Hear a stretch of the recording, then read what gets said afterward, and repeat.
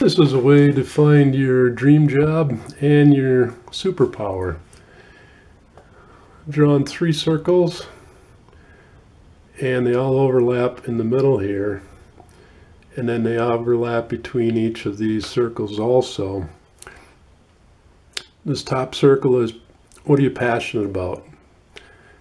Here is what can you profit doing and here is proficiency or what are you good at doing? And what I've done too is like for passion, I've listed out, not on here, but on another sheet, 10 things that I'm passionate about doing. Down here, 10 things that I can make money doing. And here, 10 things that I'm proficient at or good at. So then once I've listed the 10 things, I'll look at the list and say, okay, are there any that are in all three categories? So I'm going to use an example of, say, photography.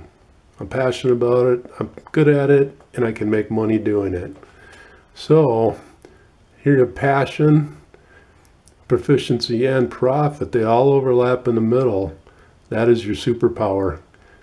It falls in all three categories. If you have passion and proficiency, but you can't make money at it, you have a hobby. If you have proficiency and profit, but no passion, you end up with boredom, a job that you probably hate doing. If you have passion and profit, but you're not good at it, you're most likely going to fail. So that is a way to kind of find out you know, really, you know, the three different quadrants or areas of a job. Say photographer. For me, it fits all three.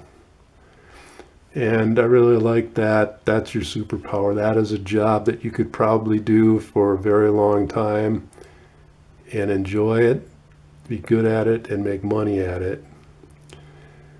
But I, I saw this somewhere and I'm like, that is awesome. But be sure and check out my other videos. Please subscribe, like, share, and leave a comment below. Have a great day.